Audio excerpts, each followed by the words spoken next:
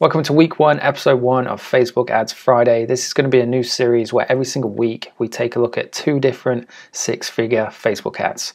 If you're new to Shopify dropshipping, then this series is going to be really valuable to you because in every episode, we're going to be looking at two tried and tested, proven products. Not only will you get to see the products, but you'll get to see everything else behind them as well. So you may have heard me say in past videos that every successful Shopify business does three things really, really well. They have a great product, which you're going to be finding in this video.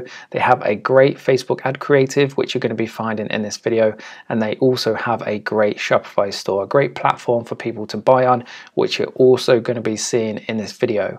So if you're looking for a product to put your time and effort into and commit, then I highly suggest that you try out one of the products that you see in this series. Thanks for tuning in and let's jump straight into the first Facebook ad. So this first ad I'm going to be showing you is definitely one of my favorite ones. It's an image ad, which you'll get to see in a second, which is interesting. Image ads back in the day, so when I first started Facebook ads five, six years ago, image ads they weren't really, they didn't have the power which they do today. It was all about videos. Everybody ran videos, videos got more engagement, they got more attention, they were just more successful.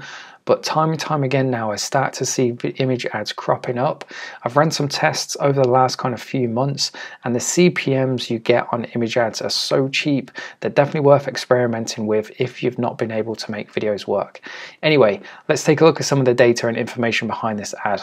We can see the post creation date was Wednesday, May 25th of this year. The first seen date, so I believe this is when this was first ran as an ad, was July 23rd, and the last seen date was September 28th. So this ad has been running for approximately two months, which indicates that it should be profitable, must be profitable.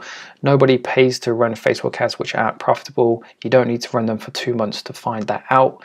The reactions, the engagement on the ad are really good as well. We can see 12,000 likes, 3,000 love hearts, a thousand shares, which is really good. Shares are really, really powerful when it comes to Facebook ads. Every time somebody shares your ad, you get that extra reach for free. It's called organic reach. And they also have 2,000 comments. The comments is where the proof is in the pudding, if you like when you're trying to make a judgment about a particular product, if you can find the actual ad on Facebook, look at the comments and the proof is in the pudding. The comments will tell you whether it's a good product or not, and I'll show you in a second why that's so important. So as for the ad itself, this is it. It's just a single still image demonstrating the product in its full effect of its in its habitat and its natural habitat in somebody's house on the wall of how it's meant to be used and the great effect that it can have. If you've been watching my last few videos, in one of my videos which was called um, three easy niches I believe one of them was the LED niche. It's because of the wow factor that LED products carry and it just goes to show you just need a single image to really put across a powerful um, enticing, engaging image that people want to stop and look at um, and click on and buy. So this is an ad by a company called Twinkling Tree. Um, they're not a new kid on the block. They've been going for quite a while. They are drop shipping and they use the same text creative. They use the same text at the top above the actual visual every single time for every single product which they advertise. So it just goes to show if something isn't broken, don't fix it. If you're looking to sell this product or a similar product, take some inspiration from what you can see here. Moving down into the engagement and comments then, like I mentioned earlier, the proof of the pudding is definitely in the comments. We're going to go for most relevant and then we're also going to check most recent as well. Two important things to do because in the most relevant, you'll see the ones that are getting people's reactions. This will typically be people who have commented something um, of relevance and something of value which we can use to determine whether it's a good product or not. So let's just have a scroll through and see what kind of things that we can see. So Nikki Vaughan posts, I have this and looks lovely on my wall. So straight away, there's one person who's bought this product. Um, Rachel says, so beautiful, my little daughter is a willow. She would love this in her room. So somebody who likes the product which is good, it's ideal, but ultimately we're looking for people who take action.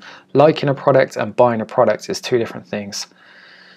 This absolute gorgeous tree is beautifully crafted and I'm buying one too, so that's kind of somebody who's definitely going to buy a purchase. Just ordered this. That's somebody else who's bought one. This person says they'd love a solar one. Julie said she bought this. Gina said her tree arrived today. So people are buying this product. There's no argument. People are buying this product. So if you're looking for a tried and tested, proven product that will sell from day one, then this is definitely a good product to consider. Now, if we check out the newest comments, this is important to do because if you go to newest and the most recent comment was from six weeks ago, then it's not currently being ran, it's not currently active. It could be out of date, it could be out of trend, so steer well clear. But as we can see here, the last comment was from seven minutes ago, four hours ago, two days, one day, seven hours, two days, five weeks. So sometimes if somebody posts a comment, say six weeks ago, and then somebody replies to it today, then that will bump it up the list. That's why they're not necessarily in time order. This one's 16 hours, one day, one day, two days, so on and so forth. So this person here as well ordered it yesterday. So just goes to show such a great product, definitely a good one to consider just to show you where you can get this product from as well. I honestly think this took me probably 20 minutes to find on AliExpress. It was a right pain to try and find. What you need to search for is this here. You can see here, I probably wouldn't go with this supplier. In fact, I'd probably approach an agent or even CJ Dropshipping um, and see if these guys can source the products for you. Another real big positive about this product is when it comes to building out the actual creatives. There's so many images like this which you can use as your creative. It's super cheap, it's super fast to get started with um, and super effective as well. Moving on to product number two, this is kind of like a wild card product. It's aimed at the Halloween audience. There are lots of people out there who like to build one-off stores, capitalize on a certain time of year or event or occasion um, and this would make the perfect product to do so. It's new for 2022 I believe um, and it's definitely a great product uh, for the following reasons.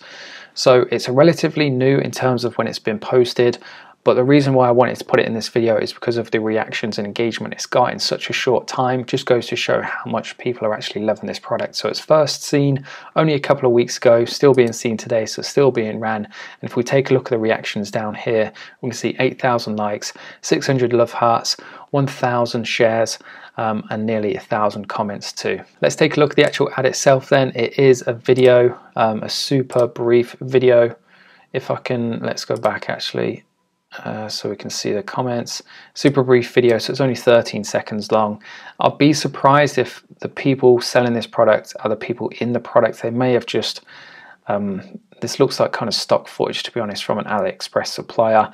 Even so, they may have just ordered one themselves and simply just filmed themselves on a mobile phone, on an iPhone, just twisting their head, demonstrating how the product works. It's a pretty cool product, to be honest, and I can see it being a really good seller um, as we come closer to Halloween. Something to point out, these guys are advertising expedited shipping in three to five days. Now, I haven't looked into this company. Some people put three to five days, and that's their actual processing time, not the actual delivery time. Um, so I'd have to double check that. If they are getting it to people's doorsteps in three to five days, they are selling to the US. It could be because there are agents um, such as CJ Dropshipping or others um, which are actually stocking this product because they're gearing it up, or maybe it's already popular, so they're already starting to stock it in kind of westernized countries so they can offer that quicker delivery. Moving down then just to check the comments out, remember we're looking for people to say they've actually bought one because then the proof is in the pudding, and I've said that about 10 times in this video, but that is what you're looking for when you're going to commit to a product. If you're going to test a product and commit hundreds of pounds to see if it's going to work, then you want to make sure that you're picking the right one. So let's take a look at the most relevant comments. We're going to need one of these. Um, people posting funny things, gifts. Uh, love it, want one. Yes, I want one. Perfect scorpion mask. I want one. I want one. I need one of these.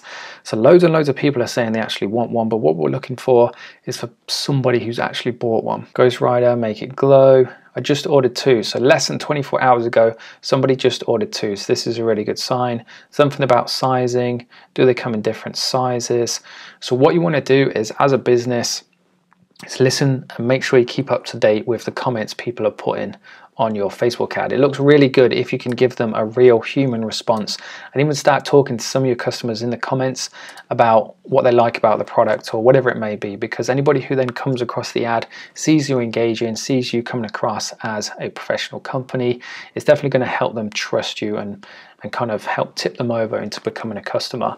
Because there's a few different people commenting about sizes, this is something I would definitely have on the actual website somewhere near the top because that's obviously a hesitation or question people are having and people won't necessarily risk it. They'll want their questions answered before they make a purchase. So if you can answer all of those questions. So by the time they're finished consuming the product page, they have no reason not to buy, um, then you're more likely to convert them obviously into a customer. So this is the link where it takes you for this particular product.